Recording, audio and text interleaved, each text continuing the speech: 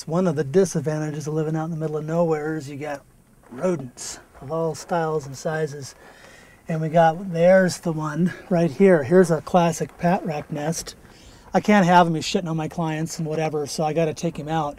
But I'm gonna take him out Paiute style with a deadfall, 10,000 years old.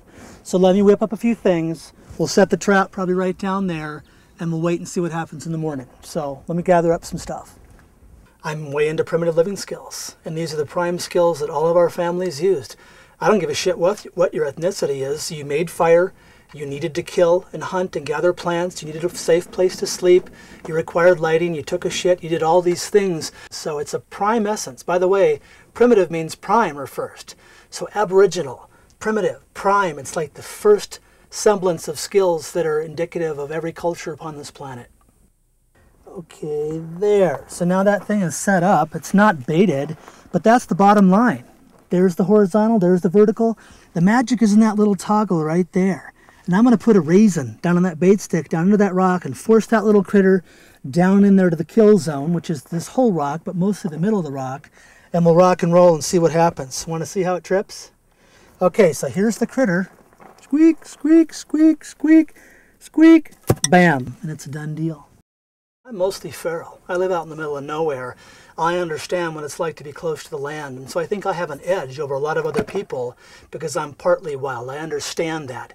I'm not wearing any shoes because I like to stay close to the earth. I don't like insulation between me and the earth. You know, I've got cracks on these feet.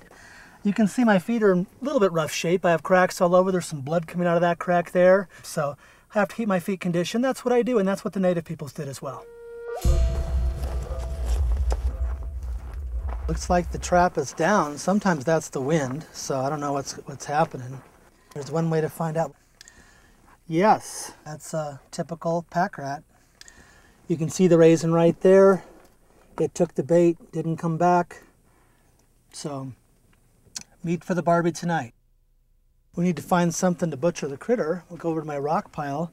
The black stuff is basalt, in this case, and the gray stuff is obsidian. So let's just pick something out here. This is the basalt, this is the sandstone cobble. Place this in my hand. I'm going to provide direct percussion right here. And the flakes come off. These things are razor sharp. So there's something. That'll open you up pretty damn quick. So I think we have enough stone tools. Let's go over and butcher our critters.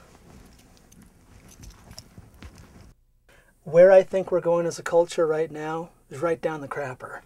Flush handle, make big noise, whoosh down. If we were an indigenous tribe living the way we're living, we'd be dead a long time ago. It's not sustainable. You can learn an awful lot by paying attention to nature, and that's what indigenous peoples are known for because that's what they have to do. So it's not just the culture or the tribe per se that'll teach Americans and people all over the world. It's their interconnectedness with the natural world, which is so lacking today. The first thing I'm going to do is take a stone blade and I'm going to open him up. I'm going to start here. This is going to be a little bit queasy. I'm going to cut this back here right below the ass. Pull this back, open him up, and I'm going to start skinning it. Again, I like to save the skin because, uh, you know, the kids really dig dressing up their G.I. Joes and Barbies and rat hides. It's a real big winner with the kiddies. So I'm going to try to save as much of this hide as I possibly can. Continue peeling from the back. The skill of hunting, whether it's rats or rabbits or reindeer, it goes back to as long as we've gone back. You know, I mean, everyone needed to eat, and this is one way to eat. I don't consider this gross. This, again, is uh, something that people did to get by, and rats are so plentiful. Most rodents are. They're not that difficult to catch. They're a real boon to survivalists uh, and uh, indigenous peoples all over the world. So here's the fur part, and here's the body part. And I ain't crazy about rat heads. So I'm going to cut the head off. So here's the rat head, sans most of the skin and the body. Definitely no relative of mine.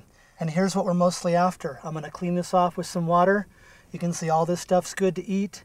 There's the heart right up in here. Heart, lungs, massive liver. And this thing could drink a six packs with no apparent effect. And there's the kidneys right there. So we'll cook this up in a little bit.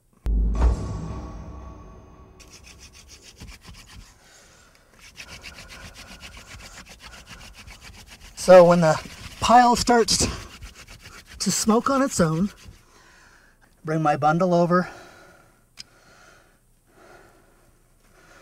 put it in my target area.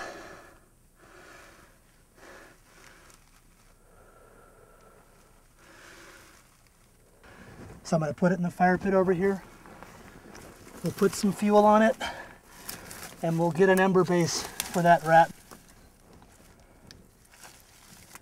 Whether it's today or tomorrow or next week or 10,000 years ago, we could cook this rat just like we're cooking it. Make fire with sticks, put the meat on the barbie, cook it till it's done, and then eat. I'll use some garlic. It's not too bad. I want to chew this up pretty good. Because there's the bones and the whole bit.